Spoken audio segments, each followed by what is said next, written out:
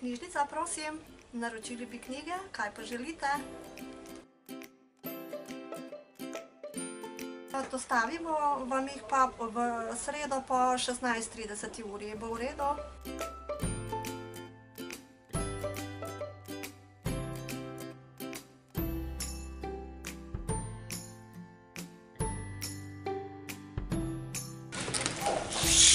Dobar dan.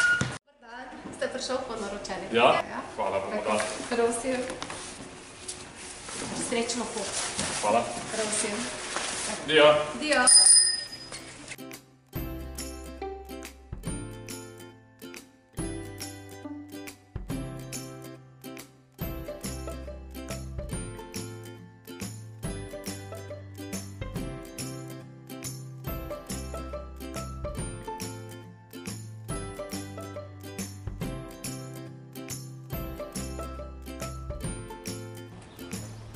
Dobar dan.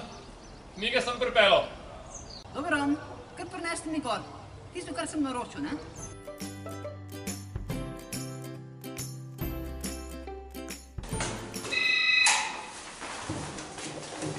O, živijo. Dobar dan. Živijo, Ivan. kako ste? Dobro, odlično. Sem že kar počakal, da pridejo. Je že kar malo dolg čas. Verjamem. Ti dve ste če sem ne? ja. Ok. Lepo branje. Hvala. Srečno. Hvala, adijo.